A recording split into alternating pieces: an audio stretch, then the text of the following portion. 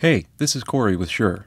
In this video on RF zones, we'll look at a few examples to put in practice the things we've learned about zones so far.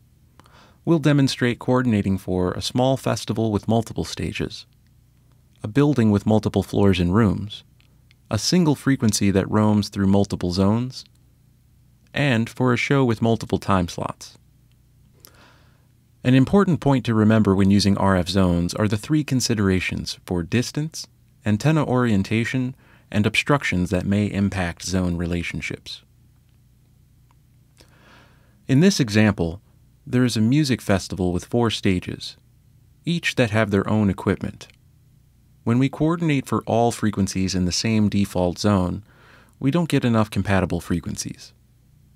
Remembering to take distance into account, we can probably assume that these stages are in different zones. And when we run a scan at each stage, we find that there isn't enough energy traded between these two stages to consider them the same RF zone. So, the zone relationships could look a bit more like this. When we calculate again, we find plenty of frequencies. Corporate or education scenarios are similar in that there are multiple wireless systems near each other. Here, there are slightly different concerns due to the layout of the space. There's more emphasis on obstructions, building materials of walls and floors. If the entire building were one RF zone, it'd be really difficult to coordinate enough frequencies. But when we separate zones by floors, for example, we can easily find enough. We can do this because we know that floor 1 and floor 3 are far enough apart and separated by concrete and steel so they don't interact much with one another. The same is true of floors 2 and 4 and 1 and 4. Depending on your testing, you might find that floors 1 and 4 have no interaction at all. A roaming frequency is a slightly different use case where one or more devices will be used in any RF zone at any given time, so it needs to be considered in each zone as a potential interferer. Reusing the building example, you might have one or more transmitters that will be used on any floor.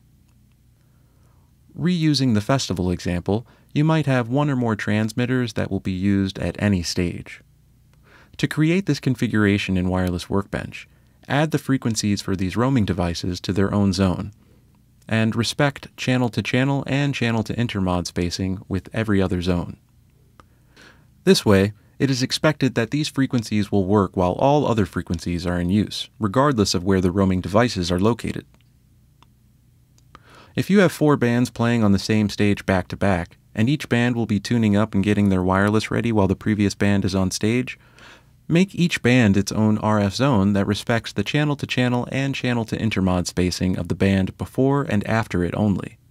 Band 1 and Band 2 will have their frequencies in use at the same time, but Band 1 and Band 3, or Band 4, will not. Band 2 needs to account for Band 1 and Band 3 in the coordination, but not Band 4. And Band 4 needs to account for frequencies used by Band 3 only. These are the most common scenarios that we've seen for using RF zones.